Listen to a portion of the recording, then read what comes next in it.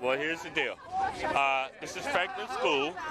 It was built back in 1869, so it's historic. It's 100 years older than me, and, and uh, it's that, so then it got closed down as a school.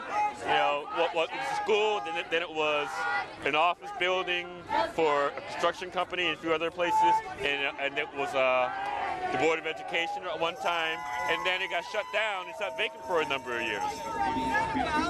There were homeless people freezing to death in Franklin Park right across the road. They, they were literally freezing to death.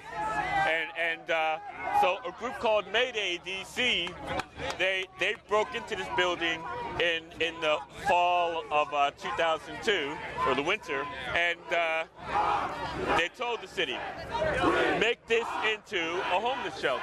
And so the city said, okay, we'll do that. And then in the spring 2003, they came in to close it down. Mayday DC came back broke it again and said, no, keep it open. And, and then it, it, remained the shelter until September 2008. And, and so uh, then it, it, got closed by previous mayor, Adrian Fenty, in September 2008. It's been sitting vacant for about three years. And uh, a lot of these entrepreneurs and all these buildings around here, they all wanted the shelter closed. They thought that closing the shelter would get rid of the homeless. But then a year later, in September 2009, there was an article in the Washington Post called, not, not, not the Post, but the, the Examiner. The DC Examiner had an article that said, bummed out on K Street. And it, it, explains that since the closing of the shelter, you've had more homeless on the storefronts, more homeless in the parks here, the next park over, McPherson Square, and the park after that in Farragut. And so they came to realize that their logic was backwards and that closing the shelter made the homeless more visible, not less visible. And so anyway, now these people are, are speaking out to have this building reopened, if not as a shelter, then for some other public need.